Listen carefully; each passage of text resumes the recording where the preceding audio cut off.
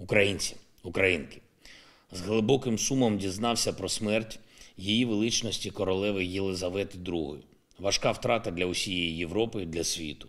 Від імені усього українського народу висловлюю співчуття королівській родині, усій Великій Британії та країнам співдружності націй. Наші думки і молитви з вами.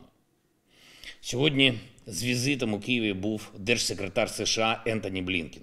Ми провели з ним дуже корисні для обох наших країн переговори, бо робимо спільну справу, захищаючи свободу. Я подякував держсекретарю за його особливу роль в допомозі нам, президенту Байдену за рішуче і результативне лідерство, Конгресу Сполучених Штатів за незмінну двопартійну і двопалатну підтримку, і кожному, кожному американцю за щире розуміння нашої боротьби. Маємо рішення президента Байдена щодо нового пакету оборонної допомоги обсягом 675 мільйонів доларів. Оголошено і про те, що Україна отримує більше мільярда доларів із загального пакету підтримки європейських демократій.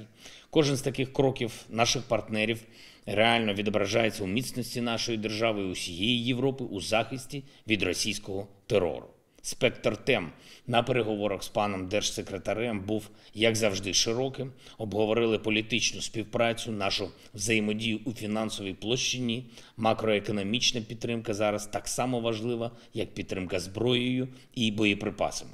Звичайно, приділили увагу Fast Recovery Plan і загалом відбудові України після російських ударів. Я порушив питання офіційного визнання Росії державою терористом.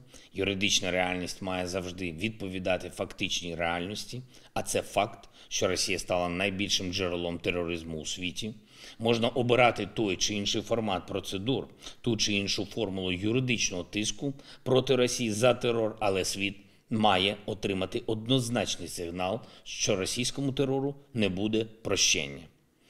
Продовжує налагоджувати нові зв'язки для України. Провів розмову з новообраним президентом Кенії, першу в історії відносин між нашими державами.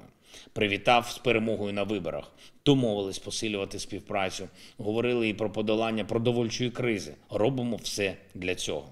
Тільки за сьогодні з наших портів вийшло чотири судна з агропродукцією для азійських країн. Цими годинами на розвантаження до порту Судана заходять більше 65 тисяч тонн продовольчої пшениці.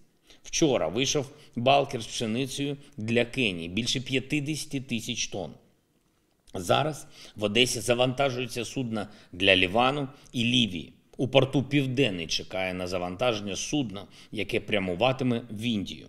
Тобто географія українського аграрного експорту морем дуже широка. Буквально кожен день роботи зернової експортної ініціативи спростовує російську брехню щодо неї. Україна постачає агропродукцію споживачам з різних континентів, і саме наше постачання гарантує продовольчу безпеку на глобальному рівні. Провів сьогодні нове засідання ставки Верховного головнокомандувача, передусім щодо наших активних дій на передовій. В рамках триваючих оборонних операцій наші герої звільнили вже десятки населених пунктів. І сьогодні цей рух продовжився. Є нові результати. Загалом з 1 вересня звільнено більше тисячі квадратних кілометрів нашої території. Дякую всім, хто це забезпечив. Дякую армії, розвідникам, спецслужбовцям за кожен український прапор, який встановлено цими днями. Заслухали сьогодні на ставці доповіді командувачів оперативних напрямків. Є певні рішення. Ставка продовжить працювати у форматі таких доволі частих засідань і нарад, щоб наші командири на місцях мали повну підтримку на всіх рівнях, і щоб збройні сили нашої держави, розвідка, увесь сектор оборони та безпеки отримували всі необхідні ресурси, всі необхідні матеріальні, політичні, інформаційні, дипломатичні і будь-які інші засоби для ефективної оборони України і вигнання окупантів. Уся державна діяльність зосереджена на потребах фронту і захисту наших людей. Я вдячний усім українським воїнам, усім, хто виборює свободу для нашого народу і на півдні, і на сході, і в боях на фронті, і тим, хто робить свій внесок у нашу перемогу відповідними операціями в тилу ворога.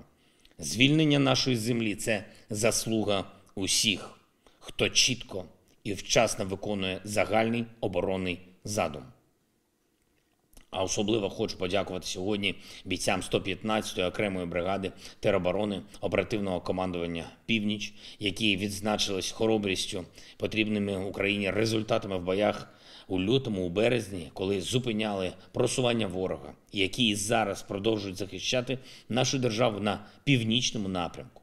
Також вдячний бійцям 117-ї окремої бригади тероборони, які діють на напрямку Суджа Суми, і першій танковій бригаді, яка міцно тримає позиції на напрямку Гомель Городня.